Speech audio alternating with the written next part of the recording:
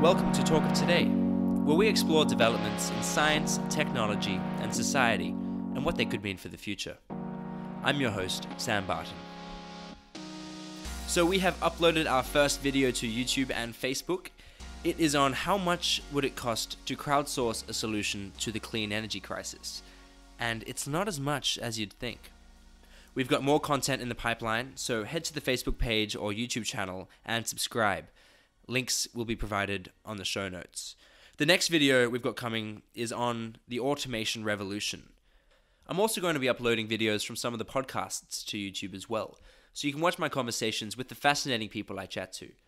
So, some of the topics for the podcasts that I've got coming up include the death of aging with Dr. Aubrey de Grey, who is Chief Science Officer at the SENS Research Foundation, the future of food and lab grown meat with Dr. Liz Specht from the Good Food Institute, and concussions with Dr. Fatima Nasrallah from the Queensland Brain Institute. Now, onto the show. Over 1 billion years ago, two black holes merged. The collision of these galactic giants was so powerful that it created measurable distortions in the very fabric of the universe itself. These waves propagated throughout the universe, and last year they passed through us and it was the first time we had ever measured these waves, confirming the prediction Einstein made in his seminal work on general relativity over a century ago. With me to discuss this momentous achievement is Dr. Jess McIver, a postdoctoral scholar in experimental physics at the California Institute of Technology. So, this conversation is a bit of a physics lesson. We discuss the basics of general relativity, what gravitational waves actually are, how they're created, and how do we measure them. And just a heads up, we did have some audio issues, which I have no doubt you will notice. Basically, there were just some loud, scratchy sounds throughout the entirety of the episode. I've done my best to edit them out, but there was only so much I could do, so just a warning. And without further ado, I bring to you my conversation with Dr. Jess McIver. I am Jess McIver. I am a postdoctoral scholar in experimental physics at Caltech in uh, California in the US. So I work on gravitational wave astrophysics, particularly the Laser Interferometer Gravitational Wave Observatory, or LIGO. So these are two gravitational wave detectors in the United States that sense these very small perturbations in the fabric of spacetime. Yeah, try saying LIGO five times fast. I mean, the uh, what if, I, I can't even re- repeat what you just said. It, it's early in the morning. um, so, if we could just begin uh, with a bit of an education on uh, general relativity and space time and what uh, gravitational waves actually are. Are they the waves that propagate through the medium of space time, if that's even the right way of looking at it? Um, so, if you could just uh, begin by giving us a bit of a, a physics lesson and a, a brief history lesson, perhaps.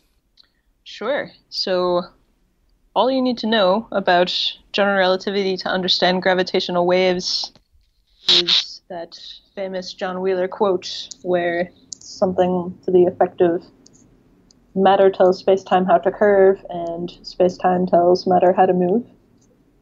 So gravity as we feel it is the curvature of space-time. And when I say space-time, this is the usual degrees of freedom that um, we experience in space. So you can move side to side, front to back, up and down, and whatever combination of these that you'd like. And it's it's these spatial degrees of freedom that are woven together with time to form space time. So you can go anywhere in space, but time always marches forward. And this is sort of the, the fabric of um, reality, even. So you can think of it, space time, as this stretched elastic fabric. So if you put something heavy on it, it will bend. So if you have a trampoline and you put a bowling ball on it, you'll get this this dip, this dent. And, and, in this instance, you mean heavy as in massive, like the the more mass it has. Exactly. So um, you can think about our solar system. So the the Earth orbiting around the sun, so it's following a straight line along space time, and this is kind of like a I don't know if you have those funnel coin collectors in mm-hmm. Australia. Yeah, they, yeah, they yeah. used to be, yeah. They're, all fun. over most Yeah, they're they're great. So physics. if you take a coin, yes, physics. if you take a coin and you roll it in a straight line around the edge, so it will it will go in a circle. It will follow the curvature of that surface. So this is just like orbital mechanics. So the force of gravity is is matter trying to move in a straight line in this curved space-time. So I guess planets or whatever they're, they're constantly falling towards the source of the mass, but there's no uh, well friction or anything, so they just keep falling. Is that kind of is that right? So right, you're you're thinking of your coin. So your coin doesn't keep going in a circle around this funnel. It will eventually fall in, and that's exactly right. It loses it loses its energy, its kinetic energy, its um, uh, which has to do with how much it's moving um, from friction. That's exactly right. And in the instance of well, the warping of space time and all that, uh, are we constantly uh, orbiting these things because well, th- there is no energy being lost in that in, in transferal to the environment since you know space is basically a big vacuum, so that it kind of happened. We, we just we're, we're, constantly falling towards the the source of the the gravity. Is that the right that way of looking at it? That is the right way of looking at it, and it's almost totally true. Um, so there's a really cool experiment that um, Taylor at the University of Massachusetts did um, so one of the major, I would argue the major, of course I work on them. Um, so one of the predictions of general relativity is the existence of gravitational waves. So you have this stretched fabric of space-time, and if you introduce any perturbation to it, which means you're changing the distribution of mass in, um, in this is in some asymmetric way. So if I have a spinning sphere, that's not going to make gravitational waves. But if I have a spinning sphere with some some deformation on it, then I will. And the same goes for black holes and neutron stars and these really dense, compact objects out in the universe. As they're spiraling together, it's this asymmetric uh, matter distribution that's going to emit gravitational radiation. So the Hulse Taylor experiment observed this binary um, binary pulsar. So this is a neutron star with a companion and what you can do. So a, a pulsar is a it's a neutron star with a really really strong magnetic field, and this shoots out. Do, do they spin of, extremely quickly? And like, are they called pulsars because they?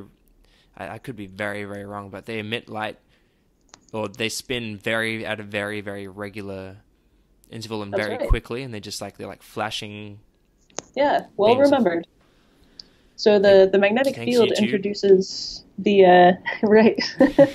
so there's this really powerful jet of um, of electromagnetic radiation of light that that's emitted from their poles, and if you're oriented right with respect to them, then that's exactly right. As they spin, they just you see these flashes, just like a lighthouse.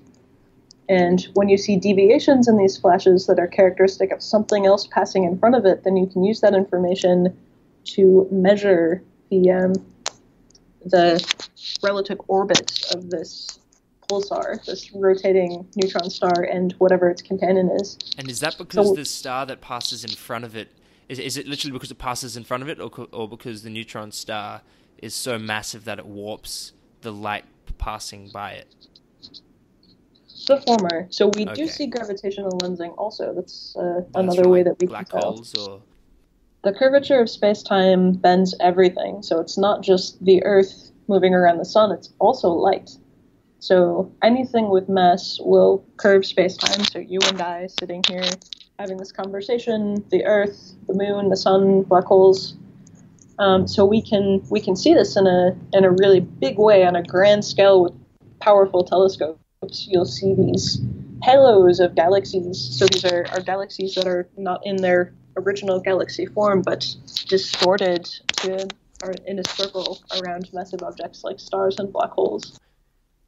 Ah, yes, this is very cool. So, right, this is the the Hulse-Taylor um, binary pulsar experiment. Um, so, what you can do if you track the orbit, the the radial orbit of the binary um, pulsar and its companion, um, what you'll see, what you expect to see from general relativity, is this very slow decay. So as they orbit around each other, they're emitting gravitational wave radiation. And in losing that energy, this is bringing their orbit closer and closer together. And eventually, we expect to see them merge, as LIGO did for two black holes back in 2015. Um, so this was one of the, the most powerful examples of the successes of general relativity, and the first indirect evidence of gravitational waves was measuring this decaying um, radius, this decaying uh, radial orbit of this pulsar and its companion. It matched directly onto what we'd expect for general, general relativity's predictions, and it won them the Nobel Prize. And this was predicted about a 100 years ago uh, by Einstein, but this is the first time that we've been able to, well, corroborate or, you know, tick that box saying, yes, this is indeed true. In a way, I think there are there have been a lot of um, confirmations of general relativity as a theory. So it, it predicted gravitational waves, it predicted bending of light. So the first major confirmation, I would argue, happened um, in 1919 so this was the Eddington experiment. So the premise is that light will bend according to the, the gravitational field of some massive object. So it should bend around, say, the sun, which is very massive to some measurable degree. Um, so what Eddington did is he noticed that there was a solar eclipse um, that was going to occur in 1919 that um, that so this is when the moon passes over the sun, and this is going to be a total um, eclipse that passed over. I think it was South America and, and Africa. Um, so what they did is they measured the position of the stars that would appear just behind the sun at that time, and then looked for changes in their position that indicate the light from these stars is bent, is warped by the sun's gravitational field. And sure enough, when they took the pictures during the eclipse, they found that light was bending around the sun and this was arguably the experiment that took Einstein from relative obscurity to widespread fame. Ah, so while everyone was just looking at the, you know, the pretty picture in the sky, uh, you know, the the eclipse, physicists were like, "Ignore that. Let's look at the stars. Let's see if this. let's see if they change." Well, there were there were two teams. So one, so they they're just in case of cloud cover. I think they um. Oh yeah. They hedged their bets. There was uh, an expedition off the west coast of Africa, and then another one in South America. I think. Yeah, I don't remember where in South America, That's but there were thinking. two. That's good thinking because Yeah. the last thing you'd want is, oh, sorry guys, bad weather. We'll just wait for the next eclipse. In 1919, imagine how much time it would have taken them to get there. Yeah, seriously. That sounds like a lot of fun. Yes. In the name of science. Yes. So, just to clarify, so these gravitational waves are caused by two massive objects um, either coming really, really closely together or, in fact, colliding. Is that right? And they just, and this causes very slight but still measurable disturbances in the fabric of space time, which propagate out at this uh, at the speed of light um, into the universe.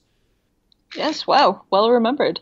So gravitational waves are caused by any acceleration of asymmetric matter. So you can't see me doing it, but I'm I'm waving my hand around, and that's making Ah, that was Very, another very one of my tiny. questions. So even we, um, like any massive objects, does any you know massive object does cause some disturbance in space time, and that and theoretically it would cause um, you know perturbations in um, the fabric of space time. So it would cause gravitational waves, but they would just be so small that we can't we can't measure them.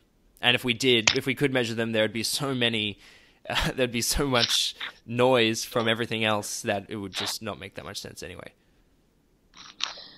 That's right. So, with the exception of a spinning sphere, so just imagine that your bowling ball on your trampoline is spinning and it's not causing distortions in the, the surface of your trampoline. Any motion, any acceleration of asymmetric matter anywhere will cause gravitational waves, but they're so small, they're so tiny that we have no hope of No hope. observing them. So it takes the, the most massive objects in the universe moving very, very fast. So black holes and compact objects like neutron stars. So neutron stars, I don't know if I said these are the the dense cores of dead stars that have gone supernova that are made mostly of neutrons. I think something like a tablespoon of, of neutron matter that composes of these stars weighs something tremendous, many, many, many tons. It just breaks your head sometimes just Yeah. thinking about this sort of stuff. Like we just we just get all this matter and push it together, and it can cause you know just things that we can't even comprehend with our mere human minds. But uh, that's what makes it so exciting and fun to th- fun to learn about. Well, I agree. Yeah, I'm glad. I'm glad. I'm sure you do. Um, what was I going to ask? Um, okay, so the so we, we were talking about the the size or you know the the magnitude of of these gravitational waves, um, and that the ones that we cause are so tiny that you know they're basically immeasurable. So how uh, precise of a measurement do does LIGO produce, and you know at, at what scale are we talking, and how is it done? Oh, so this is cool.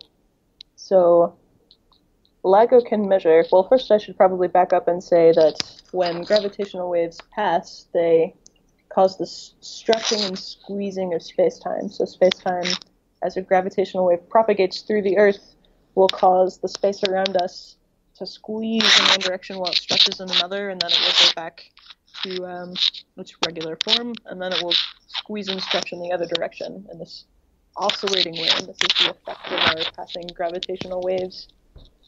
So the, the LIGO interferometers, they can sense changes in strain, so this uh, change in length divided by length, of up to 10,000 times smaller than the diameter of a proton.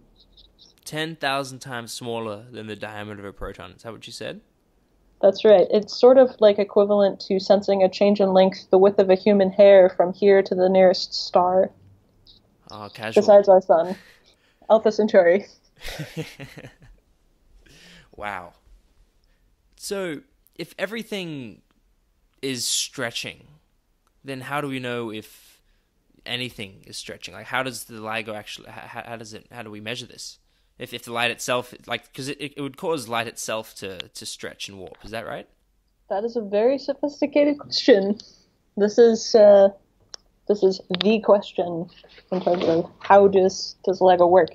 Okay, so let me exactly. describe. How does this? And just it's one of the most um, well, it's the most accurate instrument ever built, right? Like this is it kind of breaks your mind thinking about the how far we've gone in in, in creating these or these these two structures or uh, whatever you'd like to call them because when you're me- when you're measuring something that's that small you need to be pretty precise Uh, Indeed, an understatement. Yes, the, the detectors are something of an engineering marvel.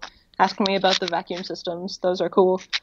But um, so just in terms of how do they work? So you have this laser beam, and it shoots out this coherent light. And coherence is important because we're we're when we get back to it, essentially going to be looking at differences in phase. And coherence means that all of the light that you're emitting by this laser is all in phase. So you start out with this one laser beam, and then you split it with a beam splitter. So 50% of it goes down one way, and then the other 50% goes down another orthogonal arm. So you're So- sampling. and are they per- perpendicular That's right. So these are two perpendicular degrees of freedom. So remember, we said that space-time is being stretched and squeezed in orthogonal directions. So that's what motivates this And- perpendicular. and, sorry, orthogonal. Um, well, what does that mean? Uh, perpendicular is probably close enough for our purposes. Okay, okay. All right, so we have our light. It's been split. So half of it is traveling down one of the arms of our perpendicularly shaped detector, and the other half is traveling down the other. So when they get back to the beam splitter, so they're reflected off of mirrors at the ends of these arms. They're four kilometers long, by the way.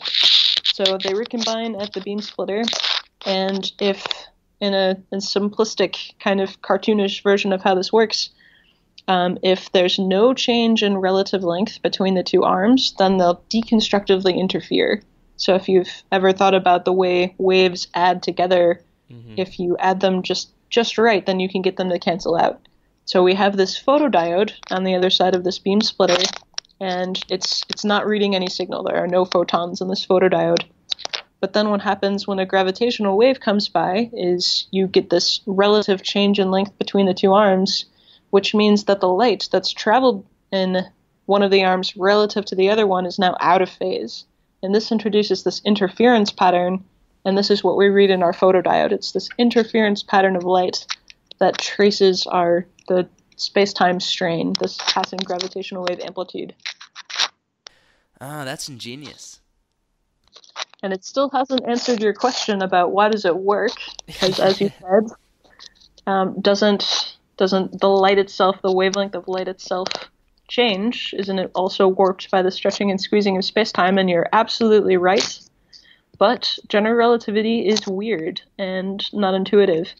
So the the solution to this thought problem is to think of the timing of each one of the wave fronts. So let's say you have some wave, and let's call the peak of the wave to be the point of interest, our, uh, our wave front. So the time between each one of these peaks is always going to be the same because the speed of light is constant. So even though there's more space between them, you still get this this phase evolution. So it's not like you're taking the light and stretching and squeezing it like the like an accordion. As time evolves, because the speed of light is constant, your wavefronts are still going to be traveling at the same speed, and you're still going to get a phase difference, and that's why the measurement works. Okay, so because um, even though the speed is constant, there is this very very slight disturbance in. Well, does the distance change at all? Is is, is that yes.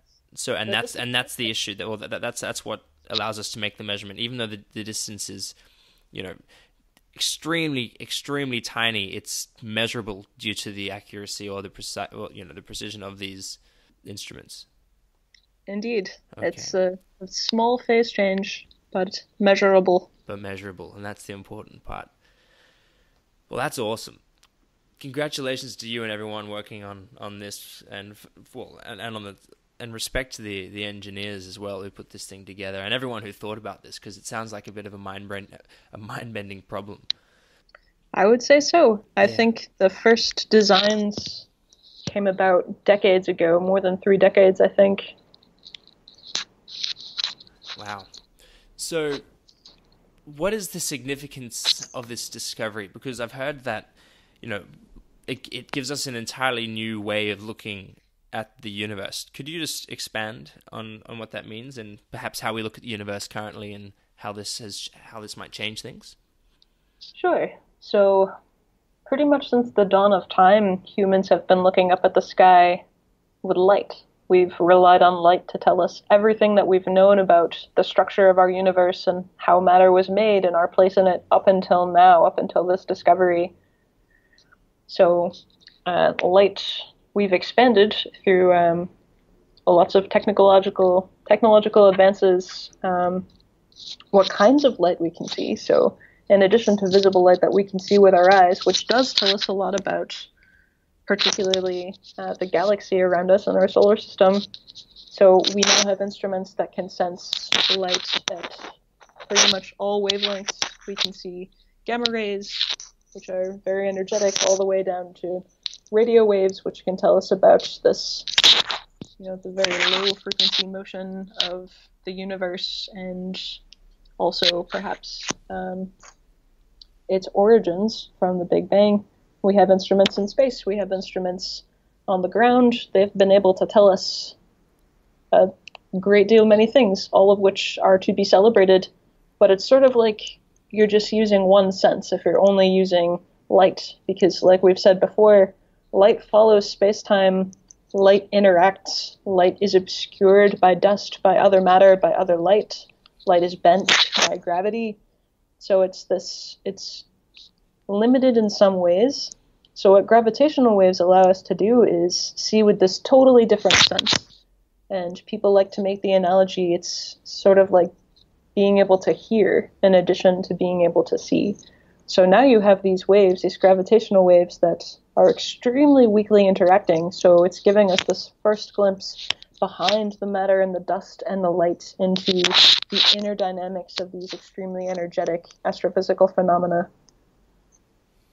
Okay, and is there anything um, now that this, now that you know, gravitational waves have been discovered and all that? Is there anything that you're particularly excited about, or there, there might be one application or you know um, one field of inquiry that yeah, I know you're, you're very excited about? Well, I think we're most excited about becoming an observatory, as it is stated in our name, the LIGO Interferometer Gravitational Wave Observatory. So we we get this question a lot, which is, you know, you've you've discovered gravitational waves, you've confirmed this element of general relativity. So what now? What are you going to do now? Just keep on and watching. we hope that's right. We hope to operate just like a telescope. So we've already made some really useful, I would argue, contributions to astrophysics as it stands. So we talked a little bit about binary objects in the universe. So one of and another binary kind being of so like was, was that when, you were, yeah, when you're referring to the the neutron star and the pulsar that they're a binary star system so you can have a binary with any pair of astrophysical objects. Mhm. Just Two. just means two. That's right. Um, so another interesting kind of binary pair is a black hole and a companion star. So what can happen within a certain radius of the star to the black hole is that some of the outflowing matter from the star will start to swirl in and get eaten up by the black hole. And this results in these powerful emissions of X-ray beams, which we can observe. And whenever you get the companion star crossing in front of these powerful emissions, then you can measure things like the orbit radius and the orbital period. And from that, you can infer the mass of the black hole. So we have been able to make these preliminary indirect measurements of black hole masses using light. But they'd only ever, so there are maybe a couple dozen of these recorded, and they've only ever indicated black holes up to about 20 solar masses or so, so 20 times greater than the mass of our sun. And then you had this huge gap between those sort of solar mass black holes, these kind of lower mass black holes, and these supermassive black holes, where you're looking at the interior dynamics of um, the inner parts of galaxies to infer the mass of the supermassive black holes that live there. So, what LIGO was able to do with its very first detection is show that there is indeed a distribution of black holes that fall within this gap. So our first detection was two roughly 30 solar mass black holes, both already above this former 20 solar mass limit, that merged to form a roughly 60 solar mass black hole. So this is one of the bigger solar mass type um, black holes that we've that's ever been seen before by a, a very large margin. And this happened 1.4 billion years before LIGO recorded the signal. So and it were we just kind of lucky that we were there, or does do these things happen so often? How, how often do you get readings? So this is a question that we're hoping to answer. No Ah. one it's it's not well understood what the expected rate of these pairs are. So we we certainly observe them um, out in the universe. You see pairs of binary neutron stars, and from there, if you assume some things, assume some things about star formation, about star evolution, and then about the distribution of stars in the universe, you can sort of get a picture of how many pairs that you might see of black holes and neutron stars, and then from that, how often they might merge. But this was the, the expected rates varied from these theoretical predictions by several orders of magnitude. So LIGO will be able to provide the first real measure of the rate at which we're, we should be seeing these events. Okay. Will we be able to deduce the relationship between you know, the changes in the fabric of space time, or you know, the size of these waves, if, if you know, size is even the way, best way of saying it, um, and the mass associated with it? Like, will we be able to find the relationship between mass and disturbances in space time? Because that'd be pretty cool, just to know how much mass can cause a certain wave or gravitational wave. Does that make sense? It does indeed, and we certainly can. And so we we get this kind of astonishment from astronomer colleagues that we're able to measure so precisely the, the mass and distance of our signals, but we don't have to deal with any of these contaminants, this intergalactic dust, this you know matter in between us and our our signals. So general relativity predicts exactly what that waveform should look like for whichever component masses. So if you have a a black hole of 30 solar masses and another one of 30 solar masses, that will make a unique and extremely predictable time series evolution. So that will it's it's sort of the way the wiggles wiggle. If I measure this wave, this time series, I can infer from the phase evolution, the, the time frequency evolution of it, exactly what the masses were. And then once I know what the masses were, then I know what the amplitude should have been. And then from that and the amplitude that I measured, I can infer the distance.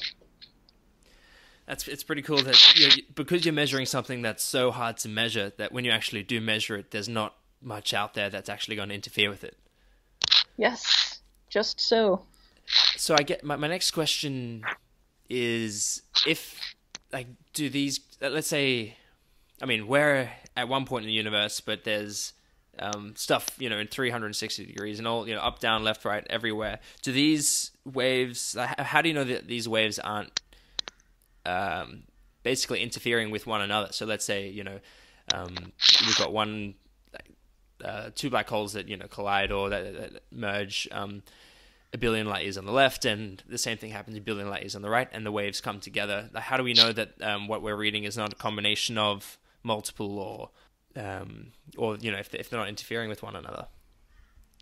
So you can also think of this like the ripples in the pond. If I throw a stone into the pond at one location and you throw a stone in at another location, some third party observer should be able to infer something about what we both did from this other position, just looking at the motion of the water where they are.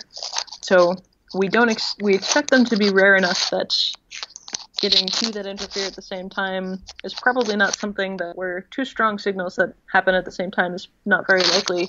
But what we do expect to see is this stochastic background, this kind of popcorn signal of a lot of these going off very faintly at many different places far, far away in the universe. And is there anything? Do these waves lose energy with time, or is there a? I don't know how they would, but or would they just go on forever? Is is this pond, this big, you know, universal pond, just going to be constantly rippling? Ah, they do decay. So just like our trampoline, our our stretched space-time fabric has some elasticity to it. So yes, and that that causes them to decay. Um, so unlike and what does that unlike, decay into what? what what is what does that energy get transferred into? So if we come back to our pond analogy so as these waves are interacting and displacing our water um, so acting on this matter and interacting with this matter um, causes them to lose energy. And the same thing with acting on space-time itself. So they'll they'll decrease in amplitude or decay, as um, as we say, um, and it's it's inversely proportional to the distance traveled. So unlike light, which is inversely proportional to that distance squared. So if you have some star that's shining, um, the amount of light you see is proportional to the number of photons. So if you draw a sphere around that star, um, and you take a certain percentage of that sphere, some portion, let's say 30%, I draw a little arc, that's 30%, some certain number of photons will come through that little arc. And now if I do that again, but like 100 kilometers or 1,000 light years away, if I draw a sphere and then gave 30% in the same shape, then you'd get far, far fewer photons. And that's it's this area effect that gives you this 1 over distance squared as opposed to 1 over distance. Alrighty, well, I think um, I think we'll wrap up there. Um, I really appreciate uh, you taking the time to chat, especially considering the the technical difficulties. Um, just for those listening, I was just saying that it's ironic that well, basically it took us about half an hour to end up getting the Skype call working, and uh, it's just ironic that when we're talking about one of the most you know the greatest technical achievements of all time, we can't even get Skype working. Technology. Technology. All right, Jess. Well, thank you very much for, for being on the show. Thank you for having me. And I want to advertise to any interested listeners out there if you want to get involved, please go to gravityspy.org and you can help us classify our noise sources. So, this is a way to oh, help us. Crowdsourcing in- science. Yes, yes, love, citizen love science. It. Awesome. Yes. And I'm sorry, uh, I forgot to mention. Um, is there anything else that you'd like to say to the people listening out there, other than the the, the great plug, or um, if people want to find out more, um, where should they? Where, where, do you think they should head to? Well, LIGO is also uh, certainly worth a Google.